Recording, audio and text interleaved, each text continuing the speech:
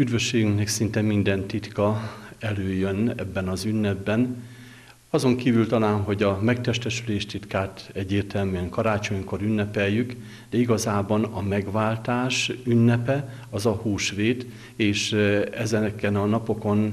szinte átelmélkedhetjük egész üdvösség történetünket, illetve átelmélkedhetjük a magunk üdvösség ajándékát. Szombat estéig a hívő ember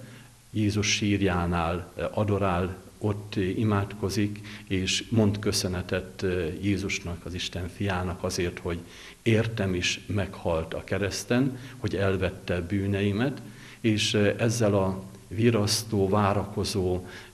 igyekezettel készül az estére, a napszálta után elkezdődik a vigilia szertartása, amely maga, a maga dramatikai fölépítésében is rendkívül szép, hiszen eh, megkezdődik a fényliturgiája, a tűzszentelés, majd a húsvéti gyertya megáldása, eh, utána eh, elénekeljük azt a gyönyörű húsvéti éjszakai imádságot a húsvéti gyertya mellett, amely szövegében is rendkívül gazdag teológiailag, maga az egész esemény azt gondolom, hogy egy igen megrázó szép dolog. Az igeliturgia, majd a keresztvíz megáldása,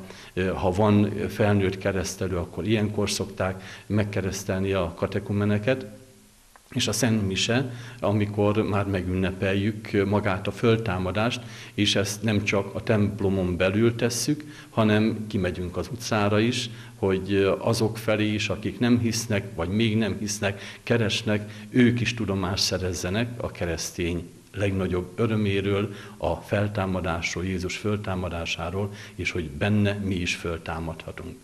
De ez sem csak egy este ünnepeljük, hanem utána következik két nap, húsvét első és második napja, amikor ezt a feltámadást ünnepeljük, erről elmélkedünk, és igyekszünk